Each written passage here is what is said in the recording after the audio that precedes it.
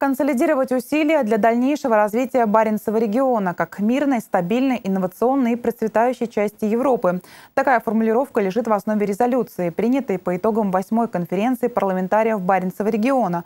Участники из России, Норвегии, Швеции, Исландии и Финляндии обсудили круг вопросов, которые предстоит вместе решать в ближайшие два года. Во многом они схожи для всех стран арктического региона, а значит, без обмена опытом и тесного сотрудничества проблемы не решить.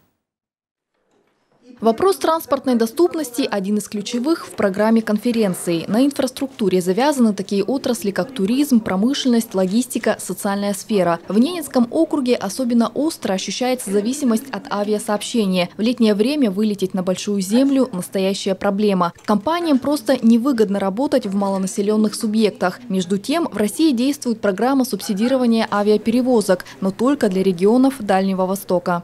В э, программе э, развития транспорта Российской Федерации я надеюсь, что мы э, все же пробьем вот эту задачу, потому что сегодня это связано и не только с развитием туризма, а туризм мы тоже рассматриваем как одну из отраслей экономики и социальной сферы. Практически в каждом докладе звучала необходимость развития туризма, причем без границ. Хороший опыт есть на Чукотке. В 1989 году округ заключил с Аляской соглашение. Оно позволяет коренному населению ездить в гости через Берингов пролив без получения визы. С тех пор на Аляске побывали более двух тысяч жителей Чукотки. По мнению представителя парламента Швеции, между странами Баренцева региона необходимо развивать авиасообщение. Это будет способствовать и развитию туризма, туризма и укреплению контактов.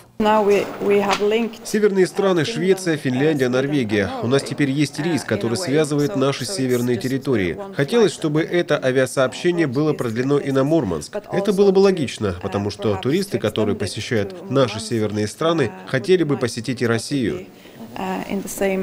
Осенью 2017 года Швеция принимает эстафету от России. Итоги двухлетнего председательства России в Совете Баренцева Евроарктического региона подвела Ольга Епифанова. По мнению парламентария, удалось реализовать много проектов в сфере защиты природы. И как раз все, что касается экологии, сохранения экологии, восстановления экологии, это одна из главных задач. Порядка девяти мест из 26 9 мест, где мы загрязняли атмосферу, значит, э, вопрос решен. Но, конечно, работу затормозили санкции, затормозили очень серьезно. Фактически парламентарии перестали общаться, и мы можем общаться только через Северный Совет и через э, Сбер. Опыт соседних государств по части экологии очень богат. Финляндия в последние годы делает ставку на зеленую экономику, внедрение биотоплива, поиск альтернативных источников энергии, переработку отходов. Практикуют систему повторного использования сырья и приучают к этому население. Если вы использовали пластиковую бутылку, вы можете вернуть ее в магазин, и при покупке очередного товара из пластика вы заплатите чуть меньше. Это выгодно для людей.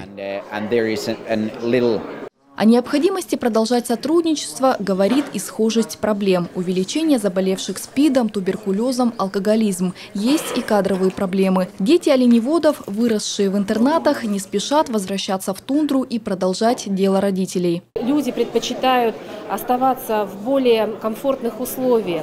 Но, конечно же, что для этого требуется? Для этого требуется раз, социально-экономическое развитие сельской местности. Это одна из э, целей на сегодняшний день государственной э, стратегии развития России в том числе.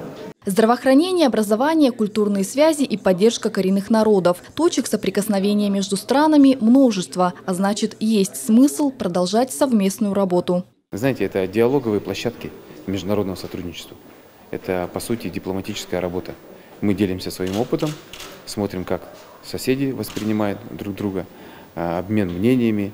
Помимо резолюции, участники конференции сошлись во мнении о необходимости провести масштабную встречу на уровне государств. Баренцев Давос, такое название получил будущий саммит, может состояться уже в 2018 году.